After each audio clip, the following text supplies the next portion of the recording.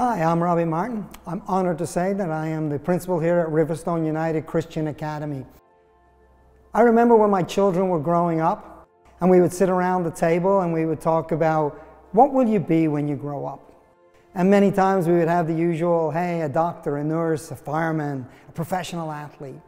And as I reflect back, I think to myself, was I asking the right question? The question I feel that I should be asking is, who will they be when they grow up? We live in difficult times and many of our Christian beliefs are under cultural attack. And when you reflect on your child, other than being at home, the venue that they spend most of their time is school.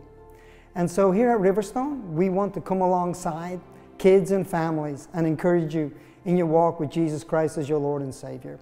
Our goal is that you would walk out of here as a senior and that you would be academically prepared to take on the world, but probably more importantly, you'd be able to articulate your faith, stand on solid ground, and know that there's a purpose for who you are as a person, and that there's a great big world out there, and God has plans for you.